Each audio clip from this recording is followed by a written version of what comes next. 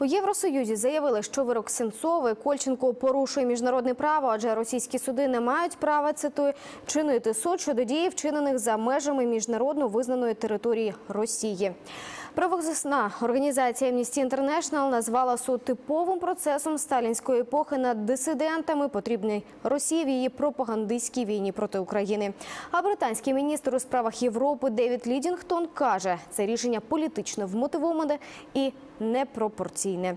Посол США в Україні Джефрі Пайт назвав вирок фарсом. Американська Нью-Йорк Таймс пише, тривалий термін, який отримав Сенцов, не рідкість навіть, тобто це рідкість навіть для російських політв'язнів. А німецька Ді Вельт називає Сенцова опонентом режиму Путіна.